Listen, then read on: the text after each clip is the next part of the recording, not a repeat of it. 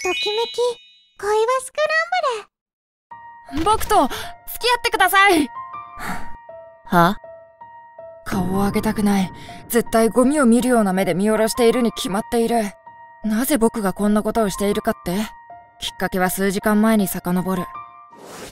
僕は宇多田和馬小岩高校に通う2年生で生粋のゲームオタクだ。その日の昼休みもいつものようにオタク仲間2人と一緒にゲームをしていた。よし今日はカズマが罰ゲームだな。うん。ゲームで負けたら罰ゲーム。それはこの3人における絶対ルールだ。罰ゲームは相葉さんに告白なんてどうだ？え？相葉葉月クラス1の美女と名高いクールギャルで男子のファンも多い。しかしその一方周囲の誰に対しても愛想がなく冷たいことから美人ながらも若干遠巻きにされている存在でもある。それ面白いな。オタクの俺らなんて眼中にないだろうしこっぴどく振られそうだ。ううそれどころかめちゃくちゃ罵倒してきそうだよな。うう怖いな。でもわ分かったよ。僕は腹をくくった。なぜなら僕はもともと相葉さんのことを好きだったから。どうせ僕みたいなやつに告白できるチャンスなんてない。だったらこの際玉砕覚悟で言ってやるって思ってたけどやっぱり辛すぎる。いいよ。付き合ってあげる。そそそうだよね。急に変なこと言ってごめん。え？罰ゲームなんでしょ？これ。あどうしてそれを？内容までは聞こえなかったけどね。罰ゲームだなんだって言ってるのは聞こえた。ごめんなさい。みっともない。土下座までして。返す言葉もない。ってちょっと待って。罰ゲームって知っててなんで？別に協力してあげるんだから文句ないでしょ。さっさと OK もらったって報告してきたら。ありがとう。意外と優しいんだな相葉さん。はあ OK もらった？うん。嘘だろ？そんなの俺は信じないぞ。そそんなこと言われてもな。そうだ証拠にプリクラ取ってきてくれよ。付き合ったならそれくらいいいよな。え？というわけで週末僕は相葉さんとデートをすることになったお待たせ。あまさか誘って一発で OK もらえるなんて思わなかったけどこれも協力してくれてるってことなのかな。それよりも。相葉さん私服初めて見たけどその可愛いね。は？いらんこと言った。でどこ行くの？ああそれなんだけどね相葉さん。葉月。え？付き合ってるんだから名前で呼びなよ。いやでもこれは罰ゲームで。カズマ。う。はい名前で呼んだ。あんたも呼べ。あは葉月さん。うん。そこまでリアルにしてくれなくてもいいのにどういう風の吹き回しだろう。嬉しいけどさ。でカズマどこ行くの？えっとその今日はプリクラを撮りたくて。どうしよう。目的地がプリクラなのもそうだけど遊ぶ場所なんてオタクだからゲーセンくらいしか思いつかない。じゃゲーセンだね。うん。ってうわ。何？嫌なの？い嫌じゃないけど。うんじゃあいいでしょ？仮にも恋人なんだから。ほ本当にどういうつもりなんだ？からかわれてるのかな？とりあえず心臓に悪い。き緊張してきた。プリクラごときで緊張とかダサもはや会った時から緊張しててすいません。じゃあこれね。えでもこれカップル用の。ほら早く入った。二人でピースだって。ななるほど。こんな感じで機械から指示が出るのか。もっと肩寄せる。うわち近いしその当たってる。えハグ？ああさすがにこれは葉月さんも嫌なんじゃ。うん。えいいの機械の指示なんだから早く従え。ははい。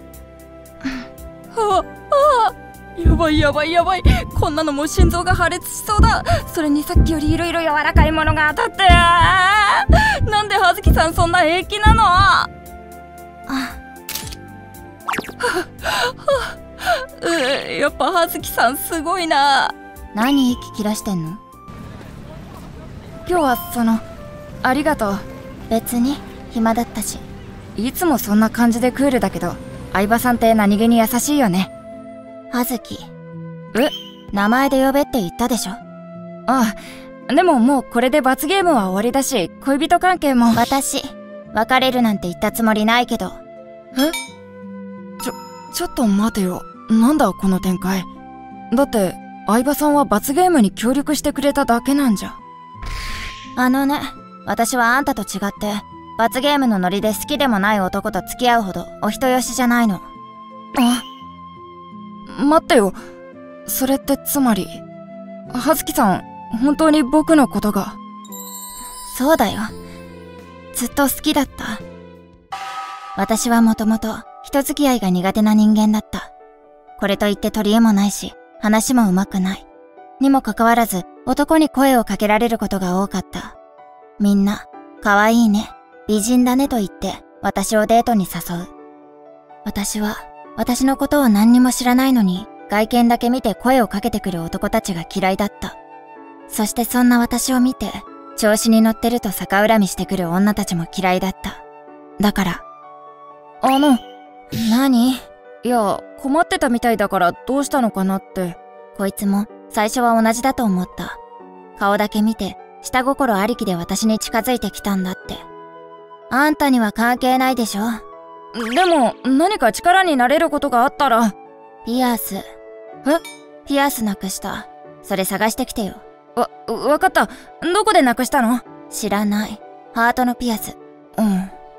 私を助けたいならそれ探してきて。ハートね。了解。うん。バカだ。冷たくあしらおうと思っただけなのに。あんな小さいもの見つかるわけないじゃん。そう思っていたのに。あったよ。あ一週間後私がピアスの存在すら忘れかけていた時彼はやってきた。そして何の見返りも求めることもなく笑顔で去っていった。そんな彼が他の男とは違って見えたのだ。バカみたいでしょ。嫌がらせでしたつもりの指示を実行されてそれでまんまと惚れちゃうなんてその後2年生になって同じクラスで隣の席になってさいろいろおせっかい焼いてくれたよね。それも本当は嬉しかったんだ。ごめん。調子いいよね。わかってる。私みたいに愛想悪くて素直じゃない冷たい女。あんたみたいなお人よしに好かれるわけないって。そんなことない。え？謝るのは僕の方だ。罰ゲームなんかで告白して僕も罰ゲームってだけで好きでもない人に告白なんてできないよ。確かに最初はよく一人でいる相葉さんが心配だった。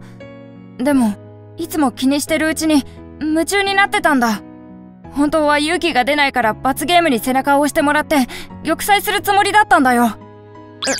嘘信じられない。本当だ。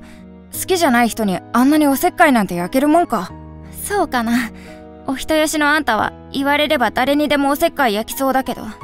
じゃあ。ここれなら信じる。あプリクラに言われてしてるんじゃないぞ。バカ。体震えてるよ。うん いいよ。信じる。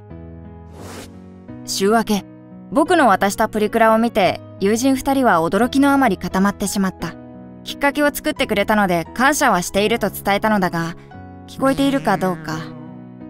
何はともあれ今日から本当のカップルとしてデートが始まる。カズマ。部